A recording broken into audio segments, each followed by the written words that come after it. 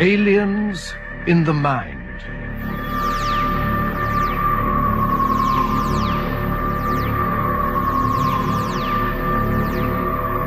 Co-starring Vincent Price as Curtis Lark and Peter Cushing as John Cornelius.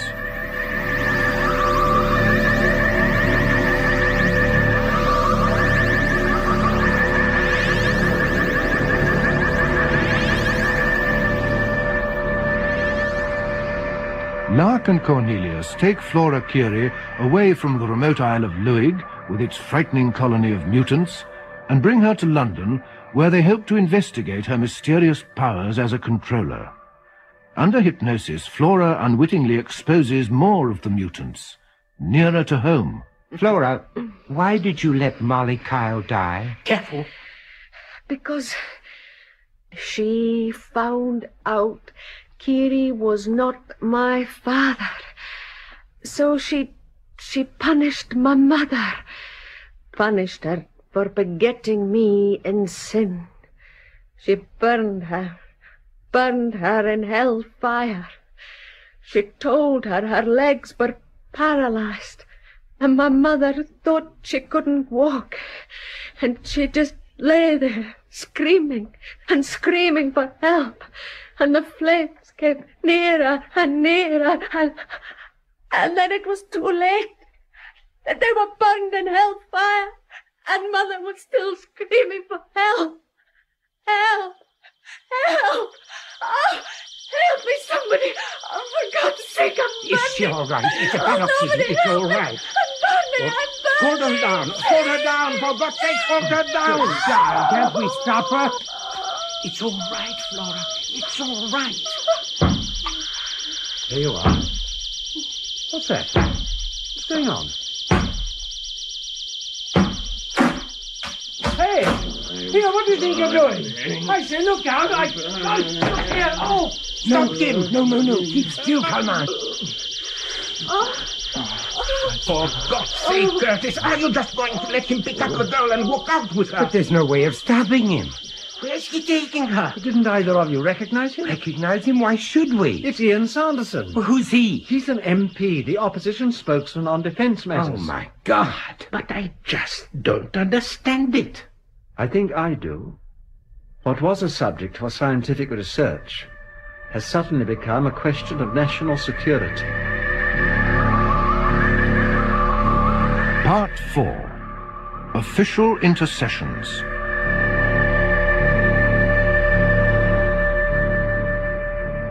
Would you mind just filling that in, please, sir? Certainly. You too, please, sir. What is it? A security pass, sir. What do they keep in here, John? The crown jewels? This is the Home Office, not the Tower of London. Well, what do they keep here? I sometimes wonder. There. Thank you. Thank you, sir. Uh, your appointment's with Colonel Gulliver, is it, sir? That's right. Yes, he'd be in room, uh... Yes, here we are, room 517. 517. Yes, uh, follow that corridor down to the end and then take the lift to the fifth floor, sir. If you turn right when you get out, you'll find 517 almost facing you. Thank you very much. Come along, Curtis, my I'm boy. coming. You can't miss it, sir. The rooms are clearly numbered. John, you know, what I don't understand is if this Gulliver is a colonel, what's he doing in the Home Office, huh? Well, Harry Gulliver's ex-army, actually. Something to do with security now. Ah. Bit tight-lipped on the surface, but he's not a bad sort when you get to know him. Anyway, you sometimes have generals in the White House, don't you? Oh, yes, and we usually end up regretting. What do they want, Gulliver? I've no idea, sir. Not yet. Oh, damn it, man. I would have thought you'd have enough on your plate without inviting coachloads of civilians to come poking their noses in the security cabinet. Oh, I suppose you know what you're Oh, doing. excuse me. Oh, oh, good day to you, sir. And good day to you, sir. Ah, there you are, Cornelius. Sorry about Morning, that. Colonel. May I introduce Professor Curtis Lark, Colonel Gulliver? Ah, pleased to meet you, Professor. Uh, hello, Colonel. Uh, who, who was that that just went out? Uh, Brigadier Sherman, my head of department. Like the tank, you know? Bit of a blimp, really. uh, take a pew, won't you? Oh, thank you. Thank you so much. Well, now, what's all this about? You tell it, John. Me? Yeah, you won't embroider it as much as I would. Oh, very well. it all started on the Isle of Luig. Where the hell's that? Luig? Oh, it's one of the Outer Hebrides. Professor Lark and I had gone up there to attend the funeral of a mutual friend. Now, let me get this straight, Cornelius. You're telling me that up on this Scottish island, um, uh, whatever it's called... The Isle of Luig? Yes, yes, yes. There are these people, these, um, uh, mutants, didn't you call them? That's right. Uh, who can be manipulated simply by having thoughts put into their heads by these, um, um, controllers. Without the mutants being aware of it. That's the point, Colonel. They have no recollection of having been manipulated in this way. And it's all done by telepathy. Almost certainly. Well, it all sounds a bit like science fiction, I must say. Telepathy and mutants and all that. I mean, it sounds more like, um, like, um... H.G. Wells? Hmm? Who? Oh, wasn't it Wells who wrote, In the country of the blind, the one-eyed man is king? Uh-huh. Very clever. Yeah, uh, well, you must admit it, it sounds rather unbelievable. Anyway, I, I really can't see why you should come to me with this fairy tale. We found one of these controllers, as we call them, a girl about 19 years old, called Flora Curie, and we managed to get her to London for various tests. Now, they might prove something or other. Uh-huh. Well, that sounds more promising. Indeed. But somebody walked off with her last night. Walked off? Yeah, stole, kidnapped. Abducted is the word, Curtis. Ah, thank you. Uh, yeah, someone abducted her, Colonel. And have you informed the police of this, um, abduction? That won't be necessary. We know who the man is and why he did it. And why did he do it? Because she told him to. She just put the thought in his head. Ah. You, you mean this fellow was a, was a, uh, one of these mutants? Is one of them, Colonel. He is also a member of Parliament.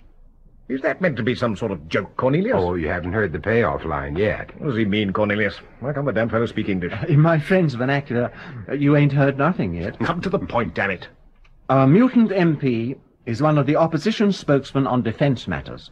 Oh, no. Now do you see why we came to you with this uh, fairy tale, Colonel? One way or another, I think we put that over rather well, John.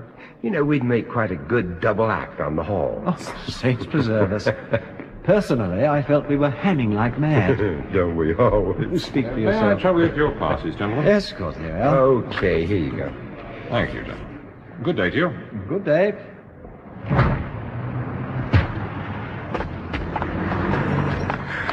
Oh, boy. Fresh air at last. Yes, it was a bit stuffy in there. Uh, hmm. But I think old Gulliver got the message in the end. Yes, but will he do anything about it? I doubt it. He can't move openly against someone like Sanderson without definite proof. And we've no proof without Flora. No, that's the next step, isn't it? Yes, but what can we do? We can't just walk up and ask for her back. What? What did you just say?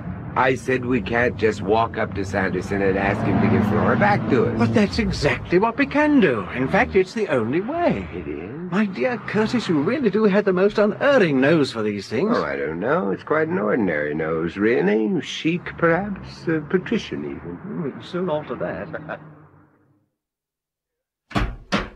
Yes? John Cornelius, I telephoned earlier. Oh, yes, Mr. Cornelius, and this must be... Professor Curtis Lark. Indeed. Do come in. Mr. Sanderson is expecting you. Thank you. If you would care to wait here for a moment, I'll inform Mr. Sanderson of your arrival. Thank you. If you'd excuse me. A real old world English butler. Isn't he just adorable? Down, Curtis, down. This way, if you please. Mr. Cornelius, Professor Lark, sir. Ah, uh, thank you, Gwent. Uh, uh, do come in, won't you? This is Professor Lark, sir, and I'm do you do? John Cornelius. How do you do? Hello. Uh, sit yourselves down, won't you? Thank you. so much. Oh, I know you both by name, of course, and in your case, Mr. Cornelius by reputation. But uh, I can't pretend to understand the uh, the reason for this visit. I'll come straight to the point, Mrs. Sanderson. We've just returned from the Isle of Luig. Luig. Oh, good heavens, I was born there. So we understand. Oh, it's such a beautiful place. Marvelous place to grow up in. It has many, many happy associations for me. Oh, you were saying about Luig? When we came back, we brought with us a young lady who showed all the classic symptoms of what could prove to be a brain tumor. We wanted to run a series of medical checks on her. She's been living in John's apartment just across the road until uh, yesterday evening. When she disappeared? Yes. Her name is Flora Curie. Yes, I know.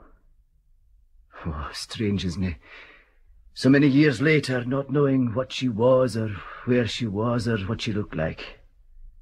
And then suddenly waking, as from a dream, and finding she had come from nowhere to hold your hand and ask to be taken home for tea.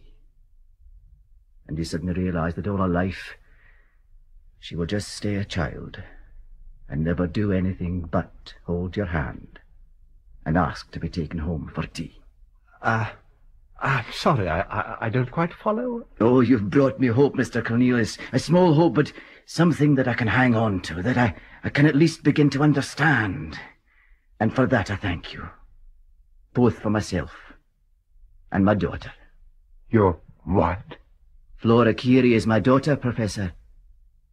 My natural daughter. Holy mackerel. Never profane the mackerel, my dear Curtis. It is the most underrated fish. Well smoked and washed down with a little muscadet, it is to the more discerning palate eminently preferable to the more esteemed and popular trout. John. Mm-hmm. It was I who suggested the mackerel. Did you? And the muscadet. Oh, really? Mm. Then I commend you, my dear Curtis. Your palate is obviously improving. Could we get back to cases, do you think? Oh, by all means. You obviously doubt Sanderson's claim to be Flora's father. Yes, frankly, I do, John. I, I honestly do. It's all too pat, too glib. Well, he seems to believe it. And I think that was genuine. Yes, but who's to say that she didn't put the idea into his head? Mm-hmm. She desperately needs affection, security, someone to lean on. She only had to think of him as her father, and he would have accepted it as fact. Agreed, but at least the dates matched. And I really don't think she could have put all that background detail into his head. Well, you could be right. I can't see how she could have known all that stuff either. No. I'm sure all she knew was that her mother was murdered for... What did she call it? Begetting her in sin. Yes, yes. It all comes back to the Reverend Donald Schooler, doesn't it? That man's got an awful lot to answer for. And since the Reverend Schooler is the only person able to verify Sanderson's story, we have no option but to accept it at face value, at least for the moment. Well, does that mean we have to leave Flora in Sanderson's care? I really don't see what else we can do. She'll be well looked after, and we have complete access to her. Besides... Besides what? Well, what will we do with Flora when we've finished all our tests and checks? Send her back to Luig? Into the Reverend Schooler's tender clutches over my dead body. Quite right. Sanderson's claim to be her father could suit us very well. Very well indeed. Could it, John? Or could it be risking Flora's life? Curtis, melodrama does not become you. It sits badly on your accent. Uh, look now, honestly, seriously, there, there must be a controller behind Sanderson. It doesn't necessarily follow just because Sanderson is a mutant. No, but it's possible, and you know it.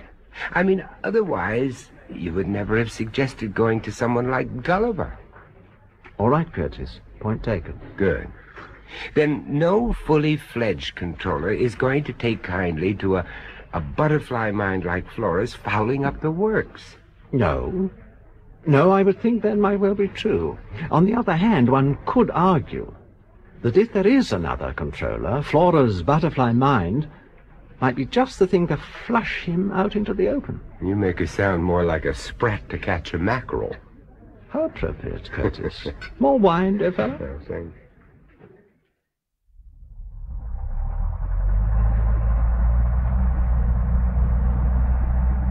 Well, John, once we get back to the flats, what's our next step going to be, hmm? To amuse Flora. Poor Sanderson seems most anxious for us to maintain our professional interest in the girl. Yep. And we certainly want to keep her under observation. Absolutely. Uh, so it might be a nice gesture if you were to invite Flora to do a little sightseeing. Me? Why me? Or why not? It's much more likely that you would want to see the sights than I would. After all, you are a foreigner. Xenophobia ill becomes you, John, though it does sit well enough on that accent. I thought the changing of the guard might be appropriate. Buckingham Palace? No, Horse Guards Parade. Uh. Then I thought we might perhaps pop in for morning coffee with Colonel Gulliver? His office is quite close by. And here I was thinking Machiavelli was dead.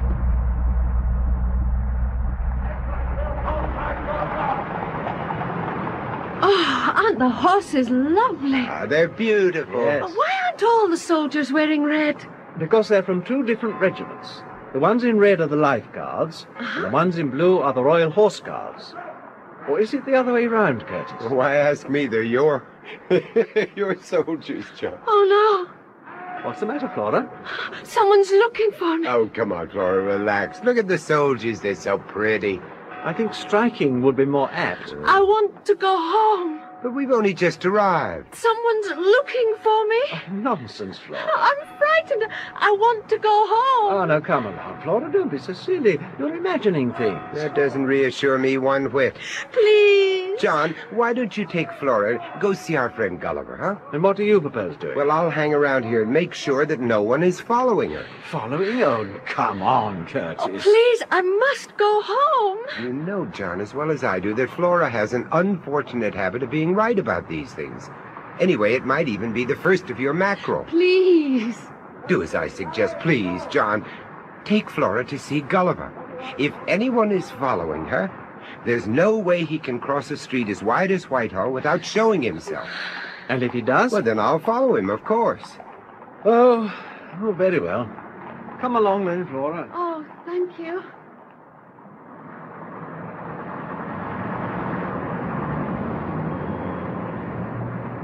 There's no one following us yet. He's still looking for me. Well, I wish he'd show himself if he's going to. Oh, so do I. I wish he'd show himself. I wish he'd show himself. Oh, I'm frightened. There, there, Flora. There's nothing to be frightened of. You're quite safe enough with me, I promise. Oh, there he is! Oh! Oh, poor devil.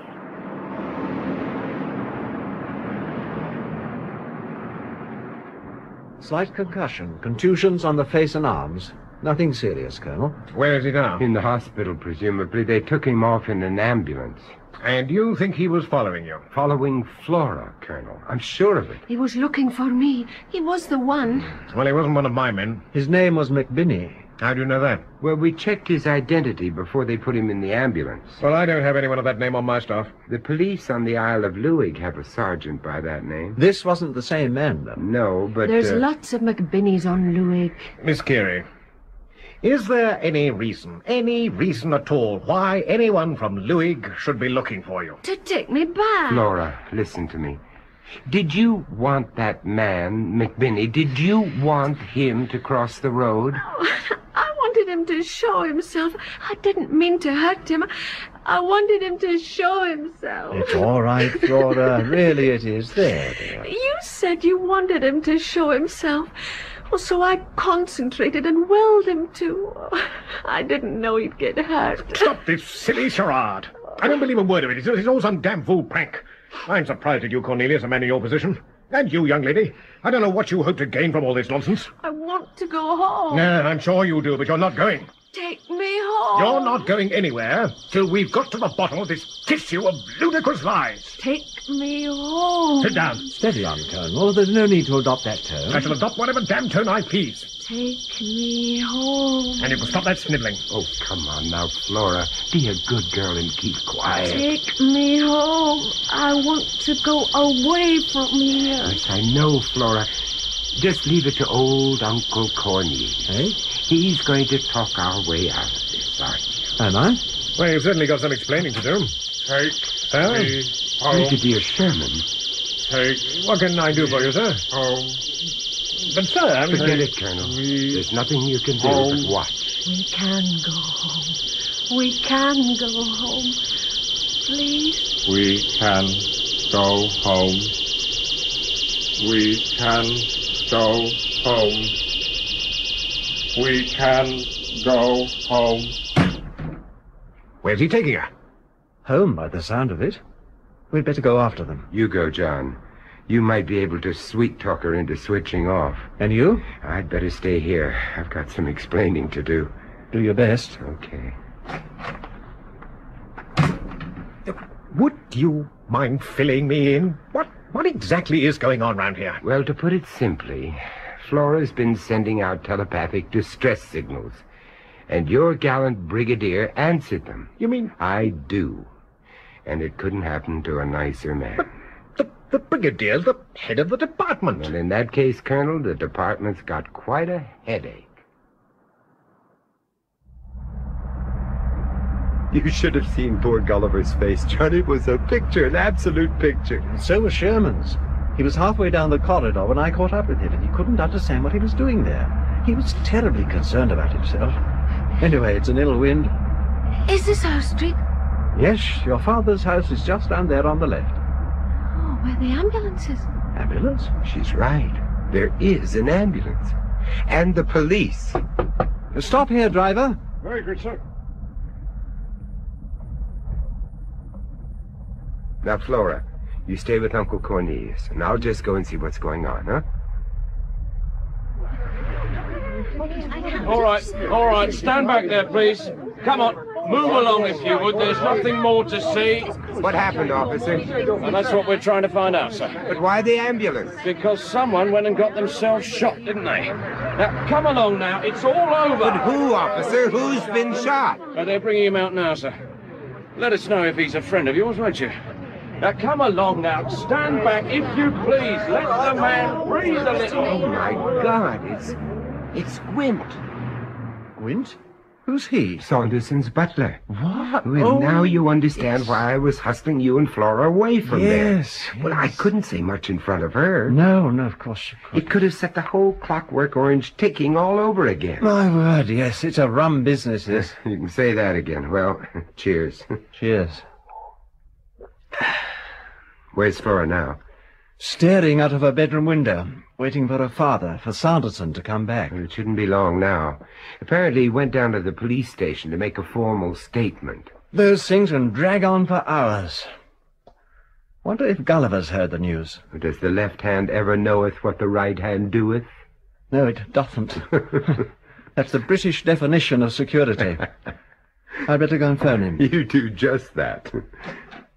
Oh, hello, Flora. Hello, Uncle Cornelius. Go on in. I'll be with you in a second. Just have to make a phone call. Hello, Flora. Hello, Professor. Your daddy not back yet, huh? Well, he came back just now. Oh, good. That'll make you happy. Well, yes, he, he came in a big car. There were two other men with him. Oh? Yes, there were two. Well, they were just policemen, probably. Policemen? Only to look after him. Your daddy's a very important man, you know. Oh, yes. Anyway, let's go tell Mr. Cornelius the good news, huh? and then we'll take you home. I'd be most grateful if you would you. tell him that. Bye. Well? He wasn't there. Well, Sanderson's just got back. Oh, damn. Well, I thought I'd just walk her across. Righto. John Cornelius? Uh, Ian Sanderson speaking. Is Flora with you? Oh, yes, she is. Uh, hold on, Curtis. She was um, just about to leave. Uh, well, I- I'd rather she didn't. Um, not just at the moment. Uh, The place is in a bit of a shambles. Yes, I imagined it would be. I don't want her to see it like this. It it might upset her. I can understand that. Don't concern yourself about her. Uh, Perhaps you'll let us know when you'd like her to come back. Yes, yes, I will. Uh, uh, thank you. Not at all. Uh, by the way, Yes? there are two men on their way over to you now. Policemen. Oh? They want to talk to Flora about the business here this afternoon. Uh, someone broke into my flat, you know, damn near killed my butler. Y- yes, so I heard, but Flora knows nothing about it. She was she was with us all the afternoon. Yes, I told them that, but they insist. Uh, They seem to think Flora was the intended victim, not Gwent. Cornelius, They could very well be right, Mr. Sanderson. They could very well be right. I'll ring you later. Goodbye. Goodbye. That's odd. What is it, John? Sanderson said there's a couple of policemen on their way over to talk to Flora. So? It must be them already. Well, I suppose I'd better let them in. No, What? no, don't let them in. But they're only policemen, Flora. Don't be silly. No, don't let them in. Don't let them in. Oh, keep them out. Keep them out. She's putting the chain on the door. Flora! They're going to kill me. They're going to kill me. John, she means it. Quick, phone Gulliver. Uh, I did. He's not there. Well, we mustn't let those men in. They're going to kill me. They're going to kill Now, me. calm down, Flora. Calm down and concentrate. They're going to kill me.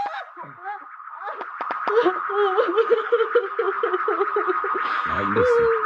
Listen to me, Flora. They, they can't kill you if you want them to go away.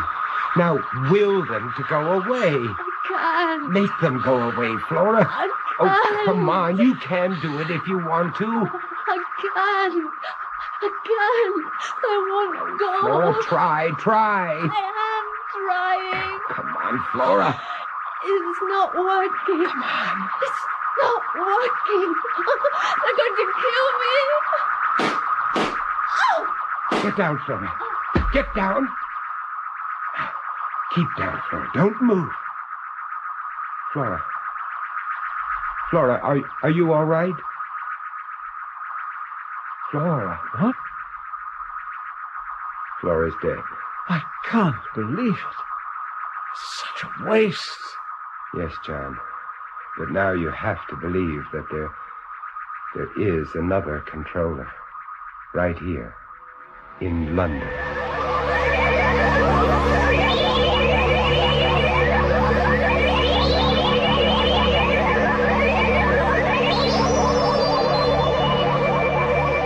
That was part four of Aliens in the Mind, co-starring Vincent Price as Curtis Lark and Peter Cushing as John Cornelius, with Sandra Clark as Flora Keary, Fraser Kerr, Ian Sanderson, William Eedle, Gulliver, Clifford Norgate, Brigadier Sherman, and Michael Harbour as Gwent.